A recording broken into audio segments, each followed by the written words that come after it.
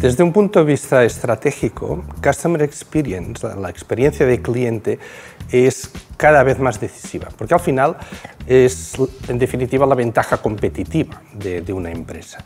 A veces pienso que deberíamos diseñar nuestra estrategia de negocio, pues nuestra estrategia de producto y de comunicación al revés.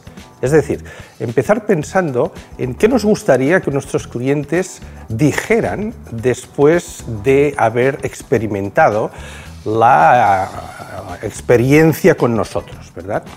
A partir de ahí, una vez sabemos qué nos gustaría que dijeran, diseñar la experiencia para que pudieran decir eso.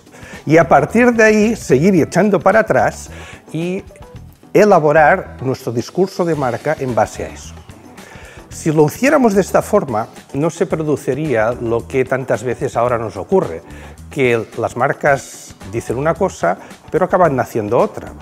Se produce esa disonancia, se produce esa brecha, ese gap de experiencia, que es lo que después nos perjudica enormemente, porque al final los clientes, los consumidores, acaban hablando mal de nosotros.